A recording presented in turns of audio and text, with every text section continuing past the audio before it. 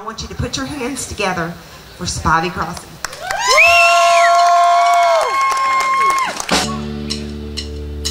Woo!